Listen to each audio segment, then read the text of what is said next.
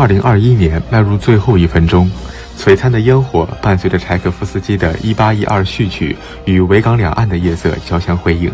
岁末年初，一场香港跨年音乐会点亮了冬日的维多利亚港，成为香港旅发局在疫情下首次恢复举办的实体跨年倒数盛事。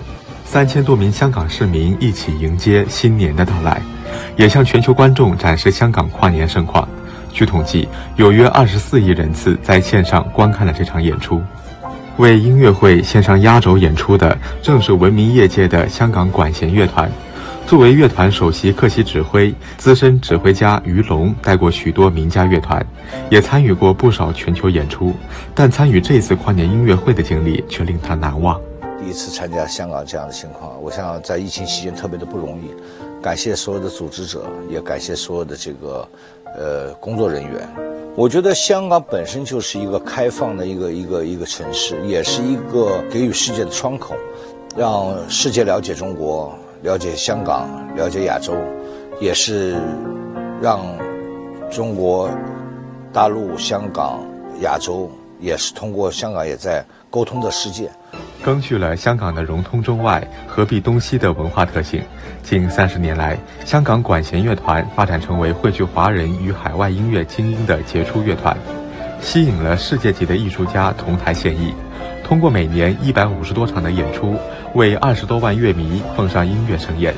二零一九年的英国伦敦留声机杂志颁奖典礼上，香港管弦乐团力压群雄，荣膺年度管弦乐团大奖，这也是亚洲乐团首获殊荣。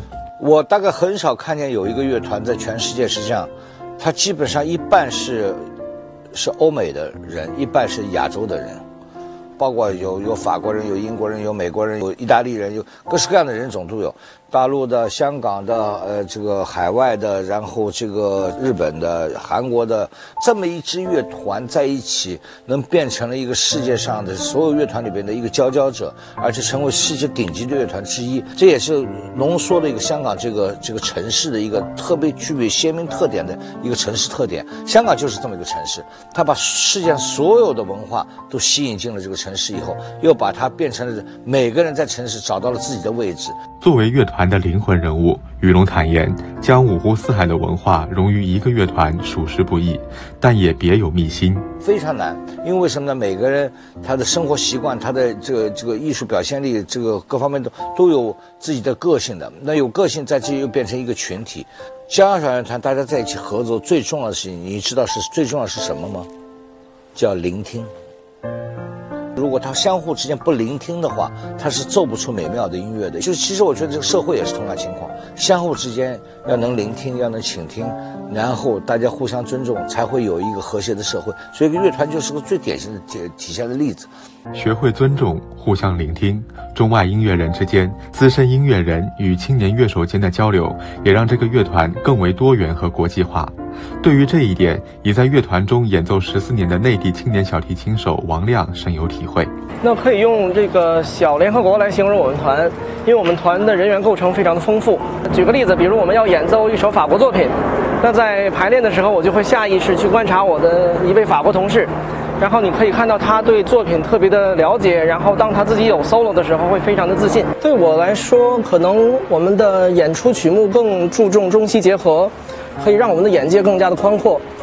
从2002年开始担任乐团的首席长笛，在澳大利亚乐手史德林的眼中，好的音乐不分国界，来自不同背景的乐手一同成长、磨合、进步，创造了独一无二的美妙旋律。Well, that's the great thing about music is that it's universal. It's a universal language, and it doesn't really matter uh, where you are um, or who is playing. If it's wonderful music, then um, people respond to that way. Uh, you grow together and you have experiences together, and then um, the collective awareness of the players create the sound. 东西交融，五光十色。 这支名动中外的管弦乐队，历经半世纪，走遍全球，用音乐搭起东西互鉴的桥梁，也让全球重新从艺术的视角认识香港。